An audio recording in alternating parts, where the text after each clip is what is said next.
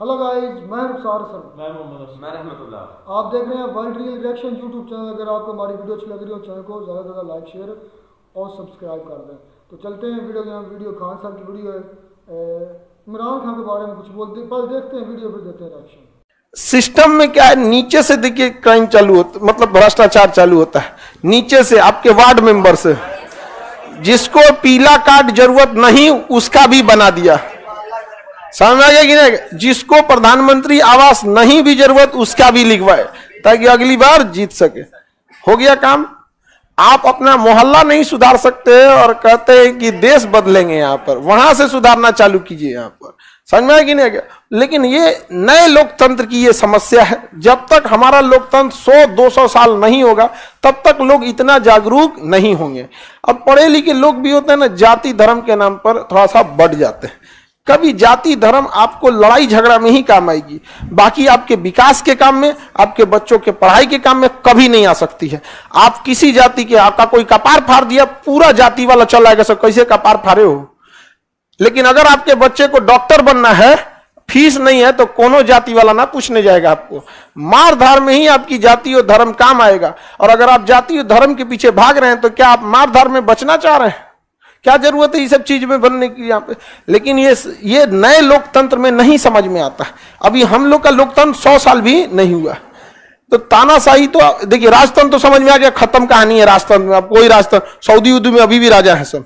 समझ में आ गया कि नहीं? राजा, दुबई दुबई का राजा बहुत इंटेलेक्चुअल दिया। हाँ? अरे दुबई वाले राजा लोग भाई पे बहुत तेज दिमाग का है सो, हम लोग से सौ साल आगे चल रहा है। बहुत आगे है वो लोग। अब जैसे लीबिया लीबिया में मोहम्मद गद्दाफी कब्जा करके बैठा। कोई मतलब नहीं। मिस्र में होसनी मुबारक, सीरिया में बसर अल असद, इराक में सद्दाम हुसैन, यमन में शेख अब्दुल्ला सालेह यहाँ पे थे, पाकिस्तान में परवेज मुशर्रफ पाकिस्तान में खाली सेना ने शासन कर लिया था। हम आपको कल भी बताते, सीडीएस का पद इसीलिए बना दिया गया था। सेना कब्जा न कर सके। तो ये लोग सेना, किंग जोंग इधर, पूरा का पूरा, बड़ी दिक्कत होता है यहाँ पे। अभी म्यांमार में सेना ने क्या कर लिया? आंग सांग सुकी को डिटेन कर दिया। पाकिस्तान में इमरान खान, बेचारा चाचा। निपटा मत दे सब चाचा को हमरे। तो इमरान खान थोड़ा सा, देखिए उन सब में जो वहाँ पे राजनीति है ना, उसमें थोड़ा सा इमरान खान ठीक ठाक जिसका रीजन क्या है कि इमरान खान पहले क्रिकेटर थे। तो जब आप क्रिकेटर रहते हैं या बहुत बड़े सेलिब्रिटी रहते हैं तो बहुत सारे लोगों से मिले रहते हैं। तो जब दूसरे दुनिया, दूसरे देश में जाते हैं ना तो आपको वहाँ समझ में आता है कि इंटेलेक्चुअल लोग कैसे हैं। शासन तो काफ़ी इंटेलेक्चुअल मतलब जो गधों में वो ठीक है। बाकी के वहाँ पे वहाँ पे क्या है? ठीक है। लेकिन पाकिस्तान में ना क्या है कि आर्मी जो है ना, अर्ध तानाशाह चलता है पाकिस्तान में। पाकिस्तान में जो पॉलिटिकल पार्टी सेना के खिलाफ बोली, सेना उनको बर्बाद कर देती है। उठा के लेके चल गई सेना उनको। पाकिस्तान में इमरान खान को पता गोटाई पकड़ के ले गया प्रधानमंत्री को इसे ले जाया जाता है। जी अच्छा वाल है यहाँ पे। हाँ? चलिए, अब ध्यान से देखते हैं। तो तानाशाही अच्छी होती है क्या? तानाशाही अच्छा नहीं होता है। हमेशा याद रखिएगा, तानाशाही में क्या है कि आपको न्यायपालिका को सप्रेस कर दिया जाता है। तो जो मेन तानाशाह होगा ना, वो उतना करप्शन नहीं करेगा। लेकिन जो उसके नीचे, जो उसके चमचे बेलचे होंगे, सब बहुत उड़ेगा सब। आप अपने गाँव में देखिएगा, विधायक जी ज़्यादा नहीं उड़ेंगे। विधायक जी का जो चमचवा होता है सब ना विधायक जी, बोलिए तो ये गढ़ा खोदवा देते हैं यहाँ पे। अरे सर जाते नहीं, विधायक विधायक जी जहाँ कुछ बोलेंगे। अरे पानी लग गया। विधायक जी चौकी लगा देगा। अरे सोचा पानी लग गया, आरा मशीन पे से दस को चौकी उठा लाएगा नीचे वाला बहुत कूदता है सब। सबसे ज़रूरी चीज़ होता है। भारतीय राजनीति की सबसे बड़ी समस्या क्या है? जो नेता फेस करते हैं सब। हर नेता फेस करता है। वो नेता चाहता है कि जनता के लोगों से जुड़े। कोई नेता ये नहीं चाहता कि उसके ऊपर करप्ट नेता का टैगलाइन लगे। वो चाहता है कि लोगों से जुड़े।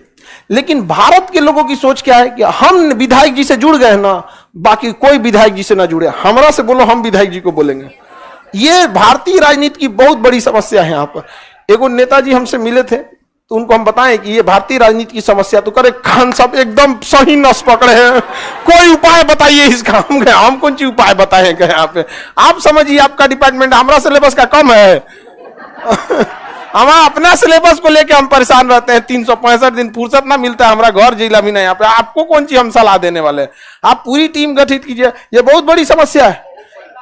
अब अब वही अपने आप को समझता है कि हम ही हैं यहाँ पे। तो नेता लोग, उनको हम समझाएँ कि तब एक काम कीजिए, आप जो निचवा रखे, उसी को कहो कि हमको हर महीने पाँच गो नया लोगों से मिलवाओ। भी पाँच गो मिल जाए, ओकरा से कहो पाँच गो से मिलवाओ। डायरेक्ट कनेक्शन रखिए यहाँ पर। पट्टा एवं कबूलियत। बिहार का शेरशाह सूरी ने यही तो लागू किया था। इतिहास ने हमने यही सीखा कि इतिहास से कोई कुछ नहीं सीखता है। तो इतिहास से सीखने की ज़रूरत है। तो हमारे यहाँ राजनीति की कुछ मूलभूत समस्याएँ हैं। जैसे हम नेताओं से परेशान है ना तो हमारे भी कुछ लक्षण से नेता भी परेशान है। अब हम लोग तो अपनी समस्या कर देते हैं कि भैया, नेता से हम परेशान है। नेता किससे कहने जाए? आपसे परेशान है, कहेगा कभी? नहीं, हमसे कुछ कुछ आके अपना दुखड़ा रोता है तो हम कहते कोई बात नहीं, हम इस कठिन परिस्थिति में आपके साथ हैं। तो कहता है कि नेता वाली भाषा मत बोलिए। समझ जाता है? हम नेते वाला हम आपके साथ है। हम ये हम लोग चुनाव में बोलते हैं, खान साहब, ये मत बोलिए आप। आप कोई ठोस तरीका बताइए। हम कहेंगे, हमारा सिलेबस अपने इतना बड़ा, हम क्या तरीका बताएँगे? आगे बढ़े। तानाशाही समझ में आ गया? तो तानाशाही में सबसे बड़ी समस्या आती है कि ऊपर वाला तानाशाह जो रहेगा, वो अगर उतना खतरनाक नहीं है ना तो नीचे वाला चमचा बेलचा जा आप किसके खिलाफ बोलिएगा? क्योंकि जो टॉप लीडर है, वही कानून तोड़ के सत्ता पे बैठा है। तो कभी नीच वाले को नहीं कह सकता है कि तुम गलत क्या कर रहा है। कर रहा तो हम लड़बे नहीं करेंगे। वो जानता है कि नीचवे, जनता बगावत करेगी तो यही पीटेगा सब। इसलिए किसी भी अपने क्षेत्र का जो सबसे नामी गुंडा होगा ना आपके क्षेत्र का, देखिएगा, आप उससे परेशान नहीं होंगे। उसके चमचों से परेशान होंगे आप। आप देखें आपका किसी भी एरिया के आप मेन गुंडा से परेशान नहीं है। ज़्यादा परेशान किसे? चमचुआ से। अच्छा गुंडाई में भी ससुरा करप्शन है। अगर मेन गुंडा का सौ रुपया लाओ तो चमचुआ डेढ़ सौ नोच के लाएगा। और यहाँ आके कहेगा, नब्बे दिया है। अब ये अपनी हायरकी मेंटेन करने के चक्कर में ओकरा से पूछेगा नहीं कि सोचा तोरा से सौ मांगे तो नब्बे क्यों दिया? जबकि वहाँ से कितना लाया है? डेढ़ सौ। अब यही बात होती है धीरे धीरे बड़का गुंडवा जान जाता है, छोटका को तो कभी कभी देखते हैं, गेंगवार हो जाता है। अपने में ताधाम हो जाता है। तो ये हो गई आपकी कौन सी व्यवस्था? तानाशाही। भारत में तानाशाही आई है? नहीं। इसलिए पहले ही कर दिया गया, आर्मी अलग, नेवी अलग, एयरफोर्स अलग। पाकिस्तान में आज भी तीनों एक ही है। एक ही है। देख रहे हैं, पाकिस्तान में प्रधानमंत्री का क्या हाल हो रहा है? आम जनता का क्या हाल हुआ होगा? तानाशाही में सबसे बड़ी समस्या आती है। आप चुपचाप ज़िंदा रहिए, आपको कोई पूछ, कोई दिक्कत नहीं है। लेकिन जब, जैसे आप व्यवस्था पर सवाल उठाइएगा मार देगा आपको। किंग जोंग किसी को मार देगा, आप क्या कर लेंगे? कहा जाइएगा? अपने मामा को कि चाचा को मरवा दिया था? हाँ? चाचा को मरवा दिया वो वहाँ बहुत खतरनाक होता। तो आप तानाशाही समझ में आ गया? ये अच्छी बात नहीं है। हिटलर भी क्या था? तानाशाह था। देखिए द्वितीय विश्व युद्ध ज़बरदस्ती झोंक दिया। उसको समझाते रह गए लोग कि रसिया पे हमला मत करो। मत करो। ना सोचो, हमला कर ही दिया। अजब वाले, पुतिन पर हमला कोई करेगा भाई? सूरज विटामिन डी पुतिन से लेता है। पुतिन दूसरे दिमाग का आदमी है वहाँ। उससे कोई नहीं। वो भी एक तरह का तानाशाही है। लोकतंत्र के अधीन मतलब पुतिन को आप चुनाव देख रहे दो हज़ार दो से वही गद्दे पर है। हम एक वीडियो बनाए थे पूरी पुतिन की हिस्ट्री। शुरू से लास्ट तक यहाँ पे। पुतिन देखेगा तो हमरों पे घुसी आए कहा खान साहब? आगे बढ़ते हैं। हालाँकि रूस से हमारी दोस्ती अच्छी रहती है। देखिए, पुतिन चाहे जैसा भी हो, हमारे देश के लिए खड़ा है। समझ गया हम वो वाले आदमी नहीं है कि ये हमारा सिद्धांत है। दो मेरे देश के लिए सही है, हमारे लिए वही सिद्धांत है। नहीं समझ? अल्टीमेटली हमारे लिए कौन खड़ा होगा लास्ट में? हमारी देश? बाद में तो कोई खड़ा होने वाला नहीं है अब। ये वीडियो ही खत्म खान साहब की वीडियो थी। इस पर मुख्य टॉपिक्स पर बात की स्पेशली उन्हें खान सर के अपना खान साहब, जो हमारे इमरान खान साहब है, उनके बारे में बात की। उनके बारे में उन्होंने कहा, देखें, अच्छी बात की। और मुझे ये अच्छी बात खान साहब की ये लगी कि उन्होंने सच बोला।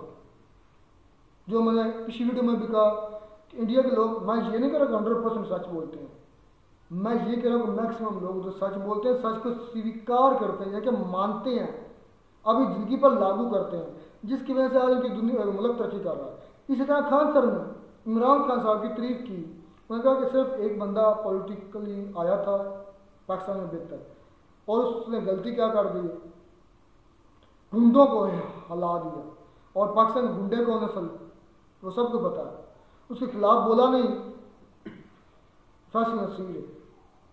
जेल में। इसका कहना तो यही हुआ कि जो भी पाकिस्तान की एस्टेब्लिशमेंट के खिलाफ वो नहीं रहेगा। तो वो खत्म। उसकी तहरीक भी खत्म सारा कुछ हाँ, खत्म। सारा कुछ उसका खत्म खान के साथ क्या हो रहा है? यही हो रहा है। तो ये बात बिल्कुल सही है भाई क्योंकि हमारे जो मुल्क है ना उसका अलमिया ये है कि इसमें यहाँ पे इलेक्शन भी हो जाए ना तो जो जीता हुआ होता है ना वो हार भी जाता है और हारा हुआ जीत भी जाता है। कुछ भी हो जाता है। कुछ ऐसा सिस्टम हमारे मुल्क में चल रहा है और शायद कब तक चलेगा ये कोई किसी को कोई इल्म नहीं इंडिया क्यों तरक्की कर इंडिया इंडिया भाई मैनेजमेंट के तहत काम कर रहा है। वहाँ पे मैंने इंडिया में एक बात ये नोट किया कि जिसको जो काम सौंपा गया ना, वो उसी दायरे में रहकर अपना काम कर रहा है। जब वो कोई भी किसी मुल्क का कोई भी इदारा या कोई भी हिस्सा जो है ना, वो किसी दूसरी जगह पे काम मूव करके काम करेगा ना तो वो, मैं कहता हूँ, वो मुल्क नहीं तरक्की करेगा। यही हाल हमारे मुल्क का है और यही हाल इमरान खान का इस वक्त किया जा रहा है। मुझे बताएँ कि इमरान खान साहब पर ये जो एफ़ आई आर हैं तकरीबन काफ़ी सालों से चलती आ रही हैं।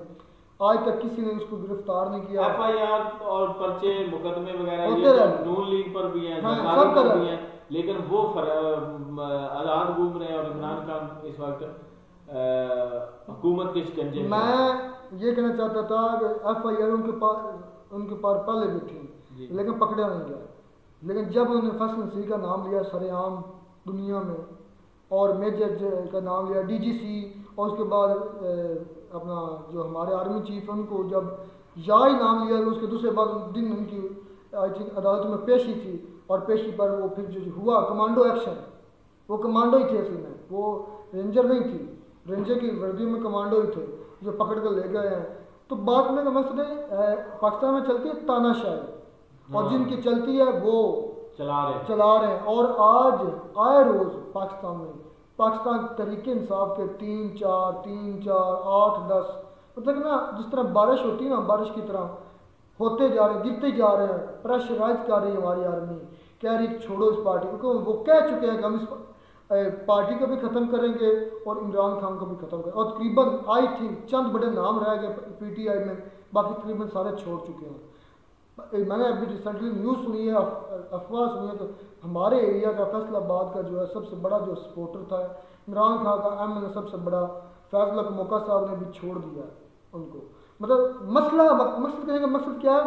खान साहब ने उसकी तारीफ़ की कि पाकिस्तान में ये बंदा अच्छा था इंटेलेक्चुअल था, लोगों से मिलता था, बाहर रह कर आया, बाहर दुनिया घूम फिर कर आया, उसको पता है दुनिया में निज़ाम क्या चलता है, लेकिन पाकिस्तान में निज़ाम जब अपने मुल्क वो पाकिस्तान कोई- में नहीं हो सकता। जब अपने मुल्क का कोई बंदा तारीफ़ करे ना कि आपका इमरान खान बहुत अच्छा और है, तो उतना बिलीव यकीन नहीं नहीं होगा जितना कोई दुश्मन मुल्क का कोई बंदा उस, उसके बारे में अच्छा बोले कि वाकई इमरान इमरान खान साहब भाई भाई देखें असलम के इमरान खान साहब एक पॉपुलर लीडर हैं।